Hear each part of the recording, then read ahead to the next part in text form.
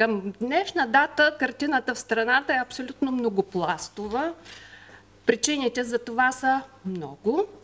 Като цяло в голяма част а, от а, районите зърножитните култури са в много добро състояние. Бих казала, че и тази мрачна прогноза за влушена фитосанитарна обстановка за щастие не се сбъдна, но в района на Доброжа, който е един от най-големите зърнопроизводителни райони с най-високи добиви по години, проблема се оказа доста по-сериозен. Природата не ни изненада. Природата си има собствени закони, просто ние трябва да ги следваме и да прилагаме адекватни решения. Причините. Общо взето основните са две. Влушена сортова структура, по-скоро неадекватно изградена сортова структура, грешни технологични решения, които са в резултат на непознаване както на биологичните особености на зърножитните култури, така и на отглежданите сортове. Маркетинговата стратегия общо взето е много динамична, много агресивна. Всеки има право на избор и съответно всеки трябва да си поеме цената на риска. Само, че когато избираш нещо, трябва да му прилагаш и адекватна технология, ако искаш да очакваш той да ти се отплати. Суша е имало и ще има. Студ във всичките му проявления пак ще има. Започнахме с грешки в а, сиидбата. Общо взето голяма част от а, посевните площи бяха засети в извън препоръчителните за региона срок. Житни мухи, малко и се измени и тяхната биология. Поне това е моето впечатление.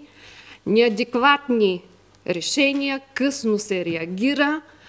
В един момент топлата зима, не бих казвала, че на изненада посевите бяха гъсти, добре се развиха, приличаха дори на футболно игрище, но в един момент а, недооценихме ниския влагозапас. Сега професор Киряков ми показа сумата на валежите до май месец. Аз ги смятах в нашия регион, отчетените тук в нашата клетка, но общо взето и в цяла Доброжа беше долу-горе такова състоянието.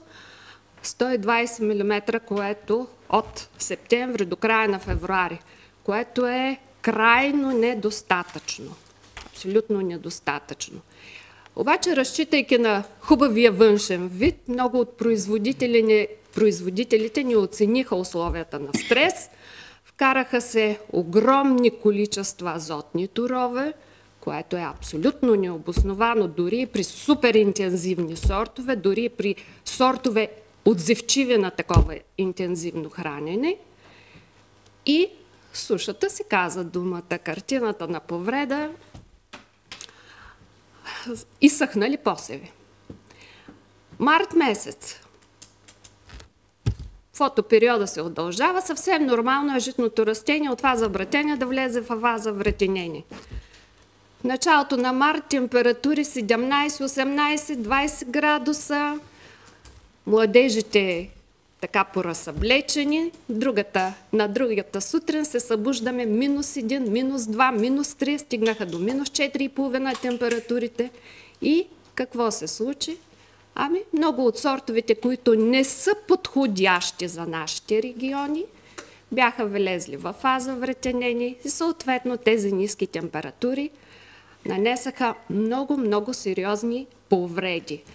Зърнево-житните култури няма как да издържат при трайно задържане на отрицателна температура от порядъка на минус 3, минус 4 градуса, когато е вляза в фаза вретенение.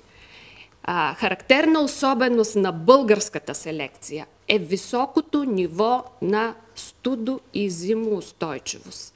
И това никак не е случайно при условие, че България има много специфичен климат, Регионите като цяло са много различни, а има едно простичко правило в селекцията.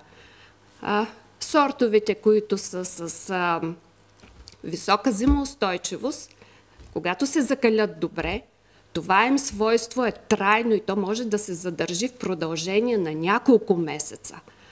При условия, които, при сортове, които нямат а, такава възможност, които са с нисък потенциал, съответно закаляването и разкаляването са в много динамична връзка и съвсем очаквано при такива разкаляващи периоди, там повредите са и много по-големи.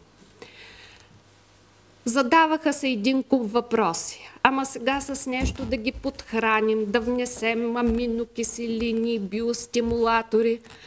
Да, много от тези продукти са с супер подходящи формули, които дават възможност на растението а, да преодолее известен стрес. Само, че при тази суша повечето посеви бяха растенията, бяха с а, много нисък тургор, нямаше такова освояване, нямаше как тези продукти да свършат своята работа.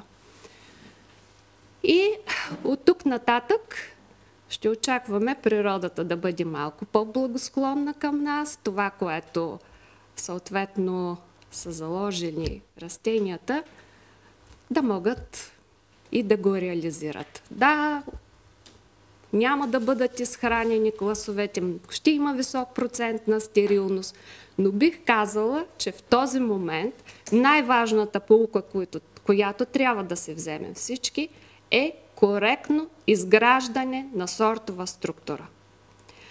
Понятия при зърнеожитните култури като идеален сорт няма. Просто култури, които се развиват през всички сезони, почти 9 месеца, няма как да има идеален сорт.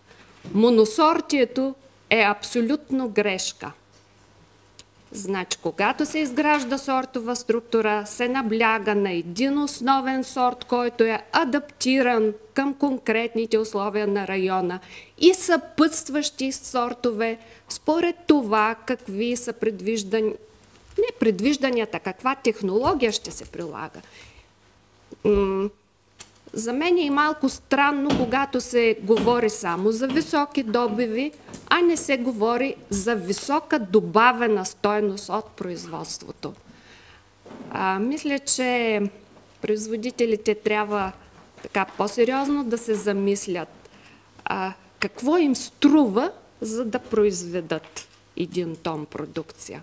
Естествено, че добива е важен, но най-естествено е да си правиш сметката колко даваш и какво получаваш замяна на това. А, други неща, на които трябва да се наблегне при избора на сорт. Конкретните рискови фактори на отделен район, почвените условия, климатичните условия, характерни за този район. Какво търсиш? Ранен сорт, късен, има ли риск, рискове от възвратни пролетни мразове? Какви са а, условията през периода на наливане на зърното, за да се избегнат от тези високи температури и сухи ветрове в края на вегетацията? Всичко това е от особена важност. И не на последно място, според мен, наистина българските производители са длъжници на всички останали потребители – Пшеницата не е фуражна култура. Няма такова понятие. Пшеница с ниво на протеин от порядъка на 9-10 не е пшеница. Това може да е генотип принадлежащ към вида тричкум, но не е пшеница. Най-голямата фирма за техническа и физическа охрана в Северо-Источна България, ФСБ СОД, предлага сигнално-охранителна дейност, денонощен мониторинг на видеонаблюдение в реално време и след сигнали от СОД, бърза реакция с мобилни екипи, монтаж и поддръжка на сигнално-охранителни и пожароизвестителни системи и видеонаблюдение, инкасова дейност и персонална охрана –